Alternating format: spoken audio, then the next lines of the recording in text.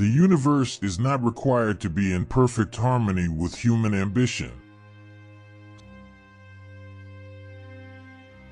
Science is a way of thinking much more than it is a body of knowledge. Extinction is the rule, survival is the exception. It is far better to grasp the universe as it really is than to persist in delusion, however satisfying and reassuring. Absence of evidence is not evidence of absence.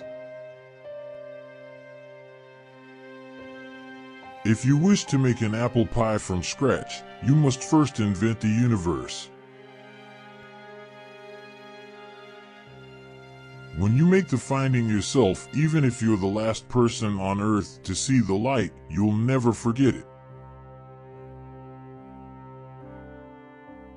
The universe seems neither benign nor hostile, merely indifferent.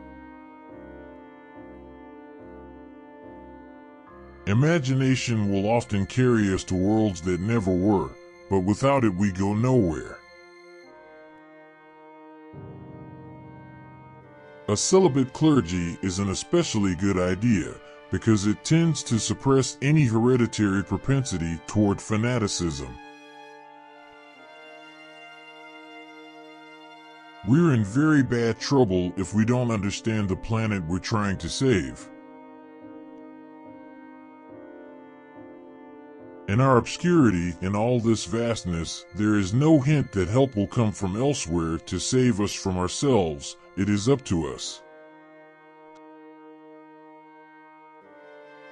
Skeptical scrutiny is the means, in both science and religion, by which deep thoughts can be winnowed from deep nonsense.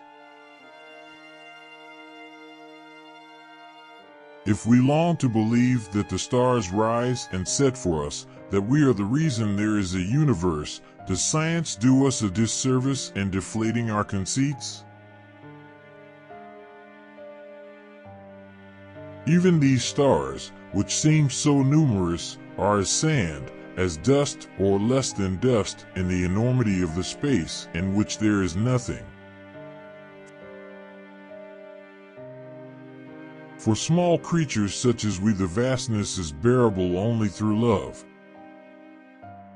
Which quote did you like the most? Share your opinion in the comments. Subscribe and don't miss out on a chance to learn more.